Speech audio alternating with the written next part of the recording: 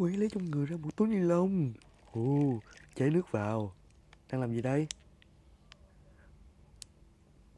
Ồ, nấu nước bằng túi ni lông.